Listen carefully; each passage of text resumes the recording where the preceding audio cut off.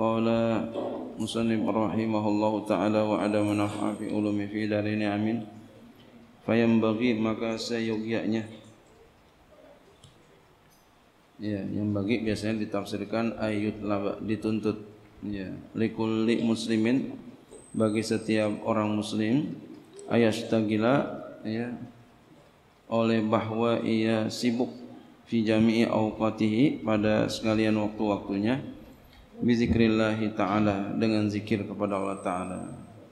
Jadi hendaknya dia selalu berzikir sibuk dengan zikir kepada Allah taala wa du'ai dan doa sibuk dengan berdoa. Wa tadarru'i dan tadarru ya.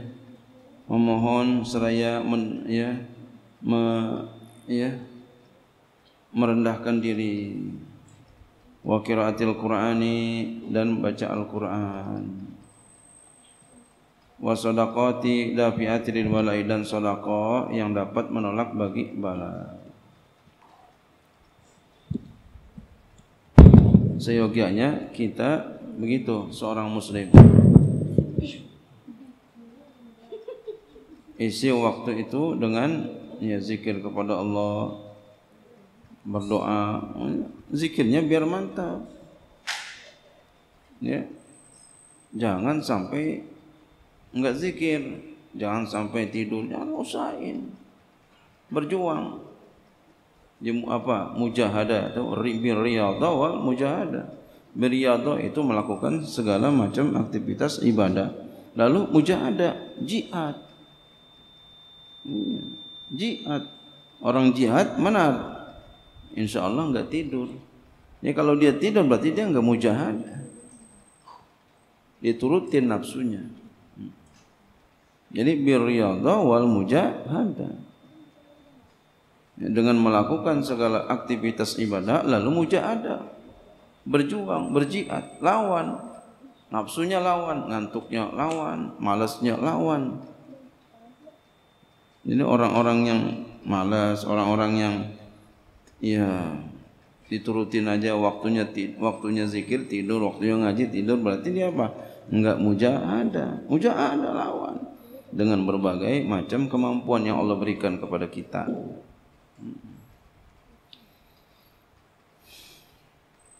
Dan berdoa minta sama Allah ya minta minta minta sama Allah. Seminta-mintanya baik orang banyak maupun enggak ada orang minta ya memohon tadarruk memohon ya sambil ya merendahkan diri ya membaca Quran, sedekah, jangan pelit sedekah, sedekah. Sedekah. Jangan pelit. Ya, sedekah yang kita mampu. Sedekah jangan pelit. Jangan sampai kita jadi orang yang pelit. Hmm. Sedekah. Karena sedekah ya apa? Ada fi'atil balak tu.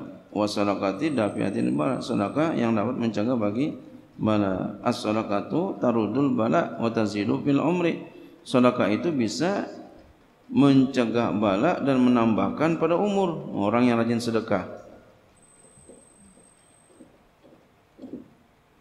ya ada orang ngomong orang kalau masih muda duitnya banyak matinya cepat lihat aja orang masih muda duitnya banyak matinya cepat katanya Karena umumnya begitu katanya. Iya, yang duitnya buat dia sendiri. Tapi kalau dia masih muda, duitnya banyak buat sedekah semua. Ilmunya disedekahin, duitnya disedekahin. As-sadaqatu tarudul bala wa tazidu fil umri. Boleh jadi tu dia umurnya bakalan panjang. Jadi mau umur panjang sedekah. Sedekah. Apa sedekah yang membuat jadi umur panjang? Ya bukan Allah itu adalah sababun adiyun sebab yang adat biasanya sabab hmm, sabab yang panjangin Allah Allah Kita sedekah itu bentuk ujian lulus daripada Allah Subhanahu wa taala. Fa inna man ruzika du'a lam yuhramil ijabata. Karena sesungguhnya orang yang telah diberikan rezeki doa, diberikan dia doa, maka tidak diberi, dia tidak dicegah akan ijabah doa, dikasih dia sama Allah. Selalu doa minta terus sama Allah. Lihat kalau kita ngelihat ada anak kecil, anak kecil nih, anak kecil. Ya, umur tujuh tahun umpama kalau kita selesai sembahyang dia berdoa sendiri, ya Allah sambil meneteskan air mata. Kita senang enggak ngelihatnya? Senang. Bagaimana Allah kita yang enak senang bagaimana Allah yang maha mulia. Senang banget sama dengan kita pun begitu berharap meminta kepada Allah dikasih. Kenapa? Karena berdoa itu adalah perintah Allah. Kita turutin perintahnya. Ya. Senang Allah. Udauni astajib lakum. Doa minta aja. Minta apa yang kita pengen minta. Terserah. Setelah itu terserah Allah. Yang penting kita udah ya matuhi perintahnya. Niatin ketika kita berdoa apa? Ya. Kita ta'abud hanya ibadah kepada Allah Subhanahu wa taala. Enggak yang lain. Apalagi nurutin perintah Allah. Apalagi ta'addub beradab kepada Allah. Fa in kanal bala'u muqaddaran maka jika bala itu sudah ditakdirkan yusibuhu akan mengena kepadanya la mahala tak enggak boleh enggak enggak bisa kita berhindar walakin akan tetapi yuyassiruhu Allah taala alaihi Allah akan mudahkan dia atasnya wa yarzuquhu sabra dan Allah berikan dia sabar. Bi barakati doa dengan berkah doa. Iya. Dan jika bala itu sudah ditakdirkan kepadanya enggak bisa berhindar. Akan tetapi nanti Allah mudahkan. Ya. Kena dia musibah Allah berikan dia ya apa? Sabar dengan berkah apa? Berkah doa. Padahal udah doa masih kena juga musibah nah, dengan berkah doanya jadi sabar. Berkah berkah doanya. Emang doanya enggak diijabah sama Allah tapi berkah doanya ya ijabah juga kan jadinya. Aturan musibahnya berat jadi ringan.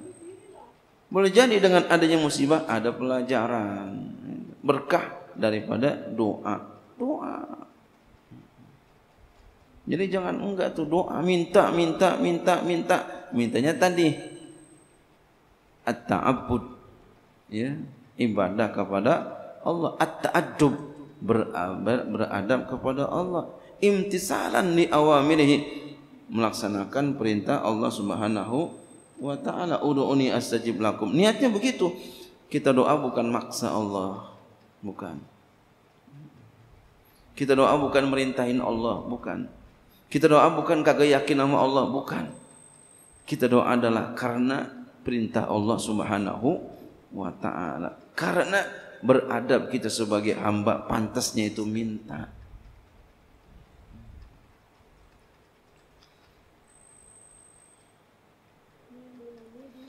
Allahumma illa idza kana ta'ala min nujumi qadra ma ya'rifu bi'il qiblata wa wa uqata salati.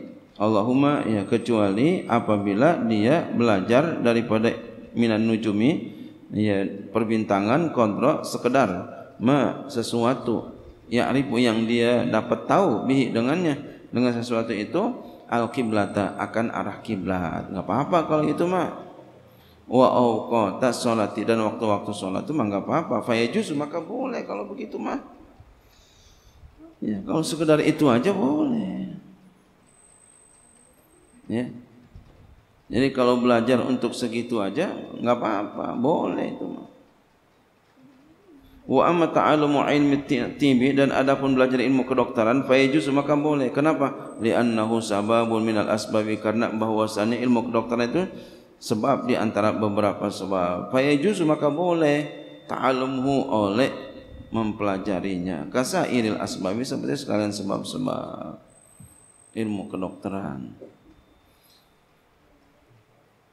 Faqad tadawan nabiyyu maka sungguh berobat oleh Nabi sallallahu alaihi wasallam. Hmm. Artinya apa? Berobat boleh. Artinya kalau sakit ya berobat. Kalau sakit berobat.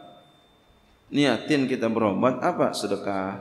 Biar duit kita bisa keluar. Niatin kita berobat apa? Supaya kita ya dengan sehat nanti kita bisa ibadah lagi gitu. Niatnya begitu. Hmm. Waqad hukiya an Syafi'i dan sungguh telah dihikayatkan dari Imam Syafi'i rahimahullah taala annahu akan bahwasanya qala beliau berkata al ilmu ilmani ilmu itu ada dua ilmu ilmu fikih lil ab, lil adyani ilmu fikih untuk ya mengetahui hukum-hukum agama wa ilmu tibi dan ilmu kedokteran lil abdani ya untuk badan. Maksudnya untuk memelihara ya badan. Wa ma wara'a zalika bulghatu majlisin. Dan apa yang dibalik itu adalah ya ya bulghah majlis ya apa? Pelengkap lah bahasa kita ya. Ya hanya, hanya pelengkap aja bulghatu majlis bahasanya ya. Ongkos majlis. Ongkos majlis. Bahasa kita apa?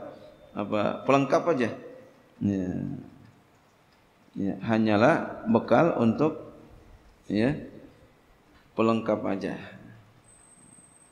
Di balik itu ongkos majlis ya. Ongkos majlis. Kalau bahasa kita apa? Hanya bekal untuk pelengkap aja. Jadi itu yang uh, dua ilmu itu yang pokok ya. Ilmu fikih, ilmu kedokteran. Ya, ilmu fikih maksudnya untuk mengetahui hukum-hukum agama. Ilmu kedokteran untuk ya badan, untuk memelihara ya badan. Wa amma tafsirul ilmi dan adapun penjelasan ilmu fahuwa sifatun maka dia itu ilmu adalah sifat ya tajalla yang dapat jelas. Iya. Biha dengan sifat itu ya liman qomat hiya bihil madhkuru.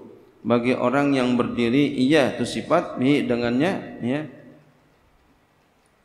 Ya. Al mazkuru yang disebutkan itu. Hmm. jadi adapun penjelasan ilmu. Penjelasan ilmu fahuwa sifatun maka dia itu ilmu adalah sifat. Ya tajalla yang jelas ya. Ia terbuka ia biha dengan sifat itu ya. Liman bagi orang yang ya bagi orang yang jelas tuh berdiri itu sifat ya kepadanya ya. Kepadanya bihi pulangnya kepada ya isi mausul al mazkuru yang disebutkan. Jadi dengan punya ilmu maka jelas sama dia. Dengan punya ilmu dia punya sifat. Ya dengan punya ilmu dia punya sifat. Sifat apa? Sifat mengetahui. Maka dengan dia punya sifat mengetahui itu akan apa? Menjadi jelas suatu perkara. Gitu. wal fiqhu dan fikih ma'rifatu daqaiqil ilmi fikih itu adalah mengetahui halus-halusnya ilmu ya, ilmu yang halus bisa tahu dengan ilmu fikih. Qala Abu Hanifah berkata oleh Imam Abu Hanifah rahimallahu taala alaihi ya. Al fiqhu fikih itu ma'rifatun nafsi mengetahui diri ma laha wa ma 'alaiha ya. Apa yang berguna baginya dan apa yang berbahaya ya. ya. Jadi dengan ilmu fikih bisa tahu ini berguna, ini bahaya ya. Ini manfaat, ini enggak manfaat gitu ya.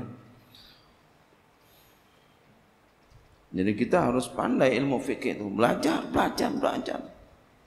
Ya, tafaqquh. Hmm. Wa qala mal ilmu illa lil amali dan ia berkata tidak ada ilmu kecuali untuk diamalkan bihi dengannya dengan ilmu itu. Wal amalu bihi tarkul ajilil ajri dan beramal dengan ilmu adalah meninggalkan dunia untuk akhirat. Ya. Mengamalkan ya meninggalkan dunia untuk akhirat.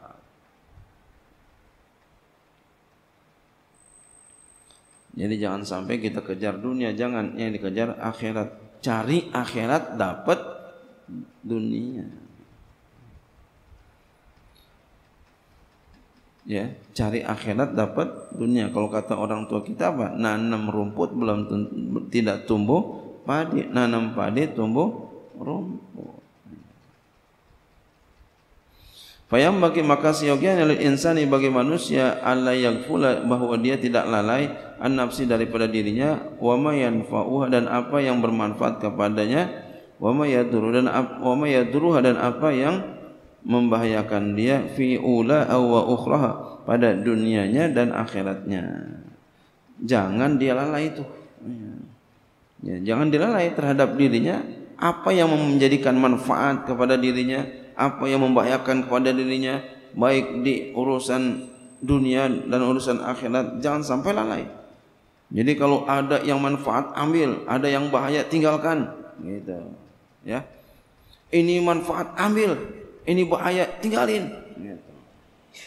Nah, kita harus cermat tuh, jangan sampai goflah gitu. Fayas tajlibu ma yanfa'uha maka ia tarik. Ia, ia tarik, ia ambil ia tarik ma yanfa'uha apa yang dapat manfaatkan dia. Wa yajtanibu dan dia menjauhkan ma yadurruha apa yang membahayakan dia apa yang membahayakan dirinya. Jauhin. Ya khaila yakuna aqlu wa ilmu hujjatan alaih. Fayazdadu uqubatan supaya akal dan ilmunya tidak menjadi hujah atasnya. Ya jangan sampai itu akalnya ilmunya nanti jadi lawannya.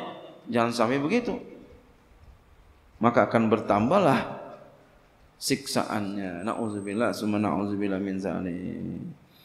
Jadi ilmunya, akalnya jadi uja, jadi lawan dia. Jangan sampai begitu. Ya. Iya, udah tahu kok kenapa melanggar. Ngerti, berakal kenapa melanggar gitu. Nauzubillah min sakhati wa iqabihi. Ya, berlindung kepada Allah. Kami kita berlindung kepada Allah daripada murka dan siksaannya. وقد ورد في مناكب العلم وفضائله آيات وأخبار صحيحة مشهورة لم تستقل لم nastaqil bi zikri kaila yatul alkitab dan sungguh waqad warada sungguh telah datang fi manaqibi ilmi pada tentang ya sifat ya penjelasan penjelasan ya kemegahan ilmu ya dan ya wa fadailihi ya. Ini manakib ini sifat-sifat mulia. Ya. pada sifat-sifat mulia ilmu atau kemegahan ilmu ya. Pada tentang sifat-sifat ilmu dan keutamaan ilmu wa fadailihi ayatun ya.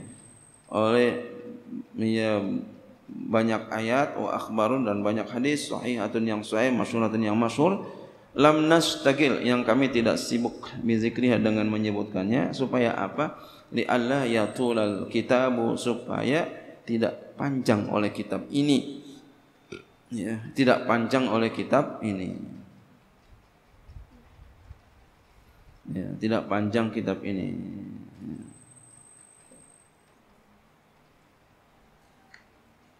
Ini kitab kalau kita perhatiin nanti beliau banyak merujuk kepada uh, ulama-ulama Hanafiyah jadi boleh jadi ini pengarangnya adalah mazhabnya Hanafi kalau dalam akhlak enggak masalah ya. Lagi mazhab Hanafi juga termasuk apa? Ahlu sunnah wal jamaah. Kalau untuk akhlak enggak apa-apa. Enggak apa-apa. Saudara kita gitu ya. Akhlak enggak apa-apa.